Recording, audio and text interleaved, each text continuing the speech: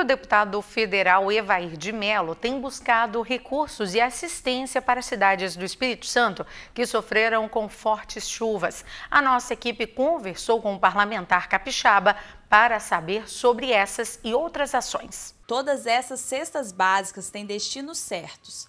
Elas foram e ainda serão distribuídas até o fim desta semana para famílias capixabas que sofreram grandes perdas após as chuvas intensas de verão. Nós estamos hoje na cidade de Conha, oficializando a entrega de 20 mil cestas básicas para 10 municípios do Espírito Santo, para as famílias que foram fortemente atingidas pelas últimas chuvas. E quem garante este benefício é o deputado federal Evair de Mello, através de diálogos com o governo federal. É a nossa obrigação como parlamentar como vice-líder do governo Jair Bolsonaro na Câmara dos Deputados, poder dar uma resposta imediata à nossa população. A pandemia trouxe problemas sociais e econômicos, as chuvas, fortes chuvas, agravaram a crise desses municípios e, como parlamentar, nós temos a obrigação de ser atuante, de estar presente.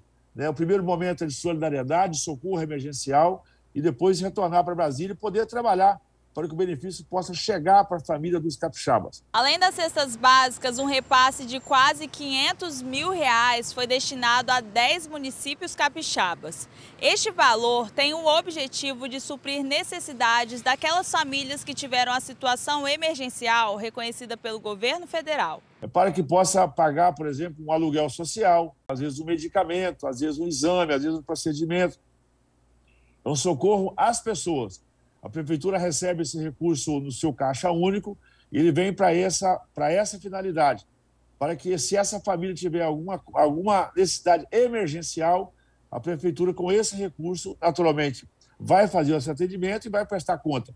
E tudo isso está sendo supervisionado pela Polícia Federal. Com o lema Ninguém fica para trás, Evaí ressalta que, além dos auxílios emergenciais buscados para essas famílias, ele também se reuniu com o ministro da Infraestrutura para tratar sobre obras que influenciam na mobilidade e logística dos capixabas. As prefeituras estão enviando uh, os projetos de recuperação de estradas, de pontes, de infraestrutura que foram danificadas, para que, posterior a isso, a gente possa também enviar recursos via o Ministério do Desenvolvimento Regional, para que as prefeituras também possam recuperar a infraestrutura que foi danificada. Para o próximo mês, o deputado deixou um convite para que o ministro da Infraestrutura, Marcelo Sampaio, e o presidente Jair Bolsonaro venham ao Espírito Santo para a assinatura de uma ordem de serviço. Talvez ainda no mês de abril, para que possamos dar ordem de serviço da ferrovia a ser construído entre Santa Leopoldina e o município de Anchieta.